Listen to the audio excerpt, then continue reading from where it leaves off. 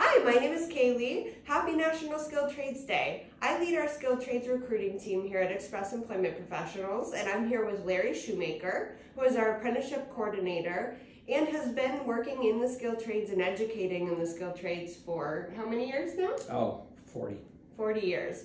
We just wanted to take a moment and say hello from Express Employment Professionals and wish you a happy National Skilled Trades Day. Larry, can you tell us a little bit about why it's so important that we have skilled trades workers? Skilled trades workers are the backbone of uh, our economy. Uh, if we don't make things, uh, we suffer as a, as a nation and as an economy ourselves. Skilled trades are so important because uh, they lead to not only uh, personal achievement and advancement, uh, but also a great way for promotion. Absolutely.